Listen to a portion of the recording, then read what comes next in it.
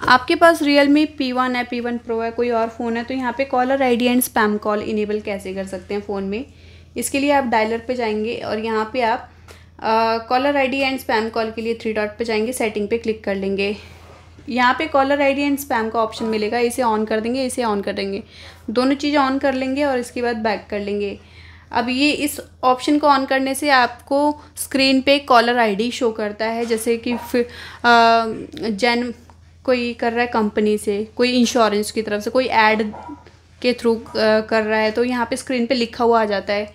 Filter spam call को on करने का फ़ायदा ये होता है कि यहाँ पे जो जेनवन कॉल है वही आपको रिसीव होंगी, जो फ्रॉड या स्कैम कॉल्स होती है ना, वो बैकग्राउंड में ही ब्लॉक हो जाती है। और इसे ऑन करने के बाद यहाँ पे आप सेटिंग पे जाएँगे ऐप्स पे क्लिक कर लेंगे और इसके बाद यहाँ पे डिफ़ॉल्ट ऐप पे जाना है। Caller ID and spam call को अपना डायलर सेलेक्ट कर लेंगे, तभी ये काम करेगा। अदरवाइज़ काम नहीं करता ऑन करने से, ठीक है?